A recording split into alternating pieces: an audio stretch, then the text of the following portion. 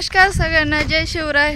आज थेट बागातूनच व्हिडिओ रोज फार्मवरती असल्यावरती व्हिडिओची सुरुवात करते. तर चला. आपली जय शिवराय या शब्दाने सुरुवात होती. सगळ्यांना आवडतं. आणि आपली आज चालू आहे डाळिंबामध्ये बागाची कटिंग तर तुम्हाला त्याविषयी माहिती पण द्यायची आणि कटिंग कशी करायची ते पण दाखवायचं आहे तर व्हिडिओ शेवटपर्यंत बघा. ज्यांनी चॅनलला सबस्क्राईब नसेल केलं त्यांनी सबस्क्राईब करून घ्या. जेणेकरून आपले नवनवीन व्हिडिओ तुमच्यापर्यंत लवकर पोहोचतील. तर चला दाखवते मी. तर नमस्कार मित्रांनो. जय शिवराय. तर आपल्या डाळिंबाची फर्स्ट कटिंग आपण चालू केली. तर डाळिंबाची जी कटिंग आहे. मी जसं तुम्हाला पाचच्या पण व्हिडिओमध्ये सांगितलं त्याची जी माने सरांची जी एक खोड तंत्रज्ञान आहे. त्याचा आपण अवलंब करतो आहे तर त्या पद्धतीने आपली पहिली कटिंग चालू होती तर एक खोड तंत्रज्ञान म्हणजे काय की एका खोडावरती सर्व झाड पुढं चालून म्हणजे त्याचा विस्तार करणे. त्याचे फायदे की तुम्ही आता इथं बघू शकता जेव्हा एक झाड कट केलेलं आहे आणि कट करून बांधायचं आता हे जर झाड बघितलं तर आपण इथं तीन खोडं होते. एक दोन आणि इथं तीन. त्यापैकी जे खोड सरळ आहे जे खोड म्हणजे जे चिरलेलं वगैरे नाही आहे आणि जे खोड व्यवस्थित वाढतं ते खोड आपण एक पकडून घ्यायचं बाकी सगळी कटिंग करायची. आता जर बघितलं तर झाड जवळपास एक फुटापर्यंत झाड आपण उचलून घेतलं आहे पहिल्या कटिंगमध्ये त्याच्यानंतर हा पुढं चालून विस्तार होणार आहे. इथं शेंडा बांधून इथं शेंडा ब्रेक करून टाकला. आणि याच्यामुळे होणार काय आहे की जे सूर्याचे जे क- किरण आहे ते सूर्यप्रकाश डायरेक्ट आपल्या इथं पाडणार आहे. जेणेकरून इथले जर अन्नद्रव्य जे तयार करायची जी प्रोसेस त्याच्यासाठी ते उपयुक्त ठरणार आहे. दुसरी गोष्ट इथं आता डाळिंबाला जर बघायला गेलं तर डाळिंब हे कमी पाण्याचं झाड झाड पीक आहे. तर त्याच्यासाठी इथं त्याला वापसा कंडिक्शन पाहिजे. त्याच्यामुळं सूर्यप्रकाश पाळण्या पडल्यामुळं इथं कंटिन्युअसली वापसा कंडिक्शन राहणारी. हा याचा एक फायदा आहे. दुसरी गोष्ट झाडाचा जो विस्तार आहे तो थोड्याफार प्रमाणात कमी असल्यामुळे काय होणार आहे का जी हवा आहे ती झाडामध्ये खेळती राहणार आहे त्याच्यामुळे मधल्या फळाला जे मॉइश्चर तयार होणार आहे दमटपणा तो पण निघून जाईल आणि मधल्या फळाला पण हवा लागेल. त्याच्यानंतर ज्यावेळेस आपण औषध फवारणी करतो तर ते औषध पूर्णपणे मध्ये पण फवारलं जाईल कारण की गर्दी कमी राहील मधल्या फळापर्यंत त्याचं औषध उडणार आहे. ते बघा अशा पद्धतीने एक्स्टम पकडून घ्यायचं आहे. आणि इथं आता इथं याची जाडी हळूहळू हळूहळू ऑटोमॅटिकली वाढणार आहे. आणि इथं हे बघा पूर्णपणे कट करून आणि ह्या मेन आपल्या हे म्हणजे फांद्या आहे त्या पण आता हळूहळू बरोबर ते डेव्हलप होणार आहेत. अशा पद्धतीनं पूर्ण झाड आपल्याला कट करायचं आहे तर हा एक स्टंप इथपर्यंत आला. जसं जसं वाढेल तसं तसं इथं जे नवीन नवीन ब्रँचेस फुटणार ते कट करत चालायचं. पुढच्या कटिंगला आणखीन ते वरती- वरती. घेणार आहे. जसं जसं वर जाईल तसं तसं खालून आपल्याला उचलीत राहायचं आहे त्याला. तर एक झाड तुम्हाला परत कट करून दाखवतो. तर इकडं बा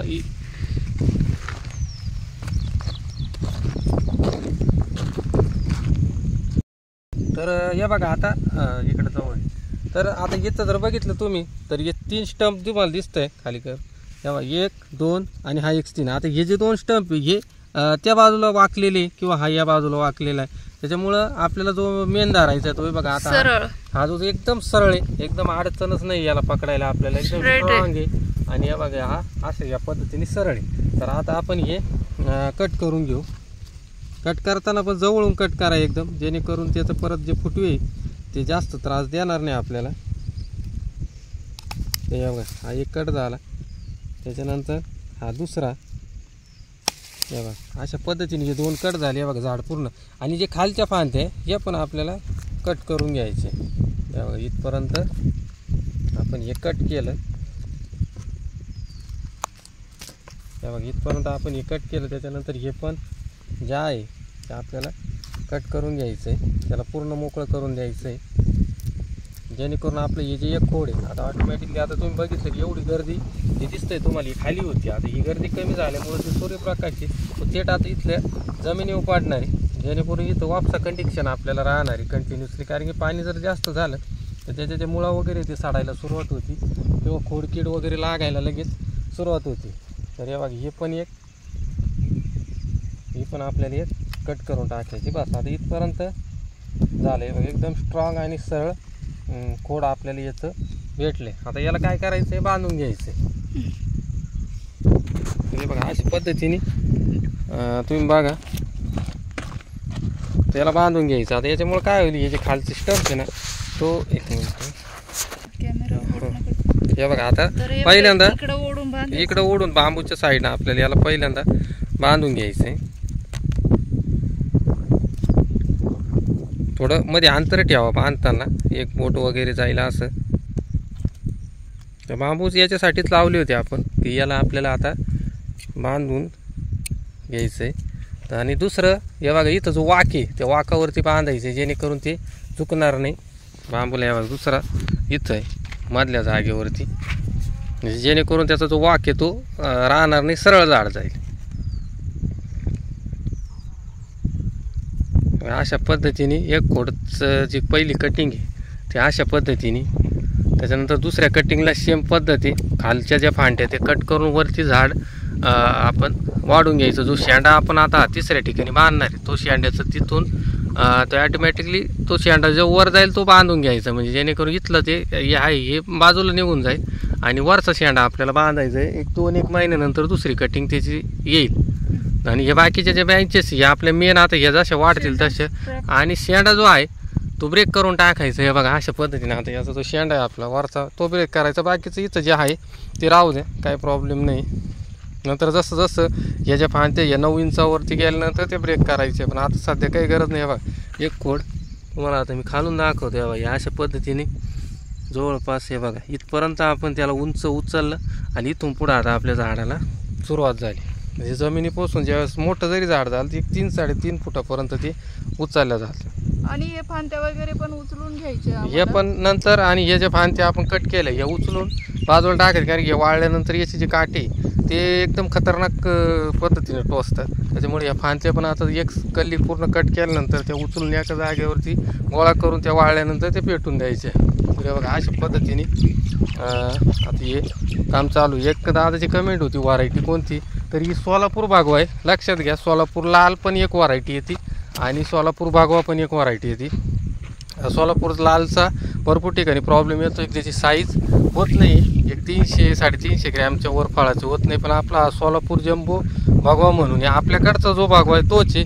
पण आपण उंड्या सोलापूर भागातून आणले त्याच्यामुळे तिथं त्याला सोलापूर नाव आलं आहे तुम्हाला इथं एक कळी मी ते ती दाखवतो. त्याच्यामुळे तुमच्या लक्षात येईल का हा बागवाचा आहे मग हे बघा. आहे का तिथं.